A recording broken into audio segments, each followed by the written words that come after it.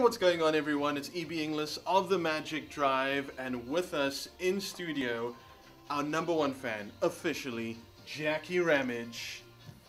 On the 1st of April, when we started the all new Magic Drive, we inadvertently started a Magic fan off. Jacqui said that she is willing to tattoo magic on herself, and that's what she's going to be doing today in studio.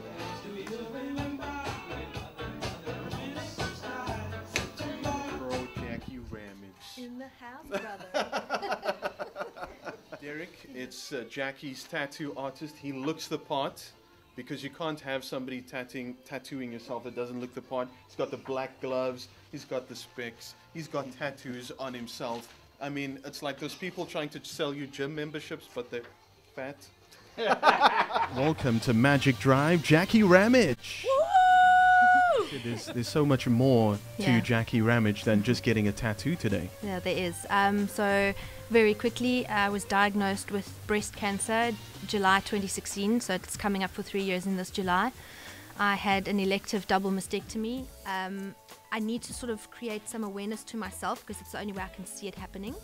And then from that platform, I can do all the things I want to do by giving back to everybody else. All right, the outline is done. Needle about to pierce skin. Here we go. Jacqui Ramage, number one fan. Branded ambassador. Indeed. It's like the lick of a kitten. It's that that's painful, right? When they do the like sort of filling in of the all of it. All of it. Oh, okay. Find your nearest stockist. Don't worry, The for you will only be the inside that is soft. The outline, the outline is not as bad as the coloring because that's just a one straight line pull. But this is what he's doing now is not so much the lick of a kitten. It is Bengal tiger. Bengal tiger kitten. What's happening there? I'm actually very jealous because I've always wanted to be able to have a tattoo and I can't. So I am now living vicariously.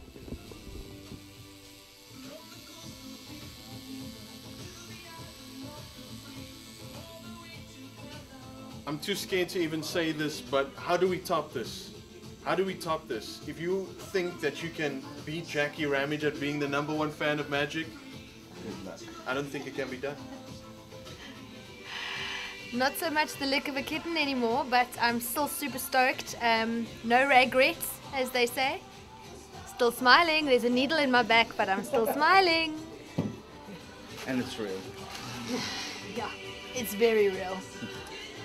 All done now. Jacqui Ramage, officially our number one fan, branded ambassador. Thank you, Derek. Thank you, Jacqui. Thank you, Khanya. Thank you to me. Thank you to Magic.